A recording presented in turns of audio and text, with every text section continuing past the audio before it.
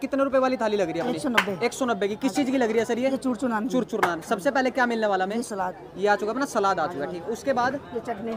या चटनी किस चीज़ की रहती है सर ये? मिक्स होती है सारे पुदीना धनिया सब मिक्स होता ठीक है और उसके बाद क्या आने वाला है? रायता। रायता। रायते में क्या डाल रखा है सर ये? मिक्स है सारा। मिक्स ठीक है। ये शाही पनीर। ये आ चुका शाही पनीर ठीक है। और ये आ चुका अपनी शाही दाल मखनी हाँ ठीक है। और इसमें अभी और और वो साथ में रहने वाले हैं छोले। ठीक है। और पनीर। पनीर आ चुका अपना। हाँ ये मक्खन। ये आ चुका है मक्खन। अमूल का ही लगाते हो ना हाँ सर? जी, हाँ जी। अरे वाह। और साथ में आ चुकी है अमूल की क्रीम। हाँ और साथ में भैया क्या मिलने वाला है इसमें हमें? दो नान मिलेगा चूर चूर नान। दो नान मिलेंगे चुर चुर हाँ और ये प्लेट कितने की रहती है? एक सौ नब्बे रुपए की। जी। ये बटर लगाया जा रहा है बटर सबसे पहले पनीर आ चुका है। और ऊपर से भैया ये क्या बटर आ चुका है? हाँ जी और बटर डाल रहे हैं। और साथ में ड्राई फ्रूट आने वाले हैं। ये ड्राई तो भैया ये क्या किया जाता है? क्रश किया जाता है चूर चूर क्रश किया जाता है ठीक है। और ये अपनी थाली तैयार हो चुकी है?